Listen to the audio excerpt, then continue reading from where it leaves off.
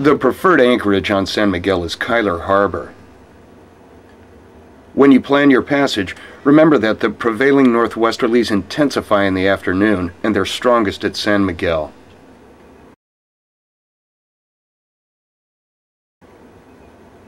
The best advice I can give you is to plan your passage from any departure point so that you reach Cuyler Harbor before noon.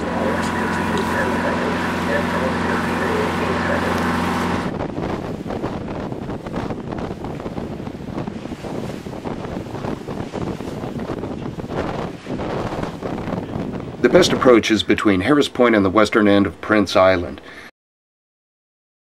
Take a look at your chart and consult Brian Fagan's cruising guide for specific directions.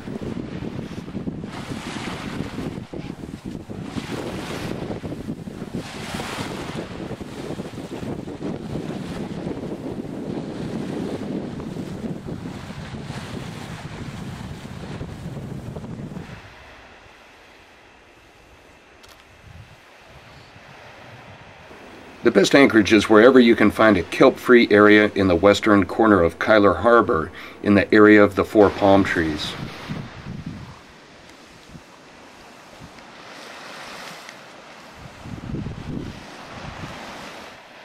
The bottom is sandy and the holding is very good.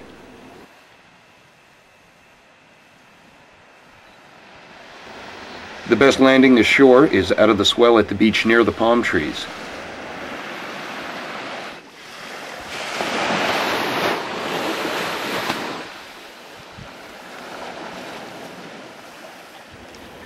Keep in mind you may be returning to your boat against more than 25 knots of wind, so a reliable outboard, a set of oars, and PFDs for everyone are essential equipment.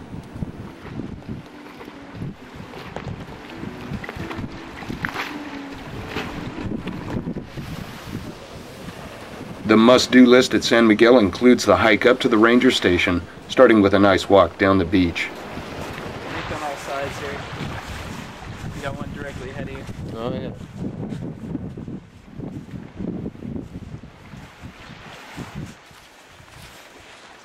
Next, it's a one mile hike from the trailhead up about 500 feet in elevation.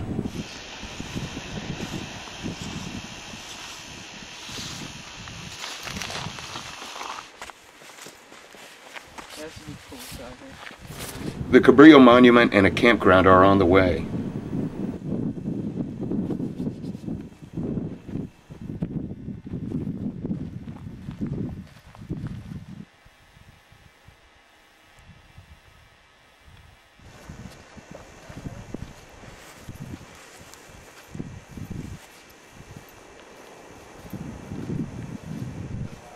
Hiking beyond the ranger station is prohibited unless you have a ranger escort.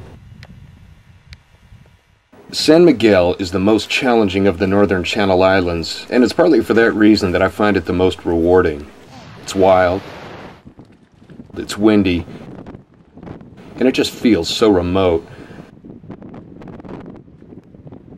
The ability to adhere to your passage plan and the ability to shorten sail and handle 30 knots of wind, to be comfortable with your anchoring skills, are all essential ingredients for a, for a safe and rewarding visit.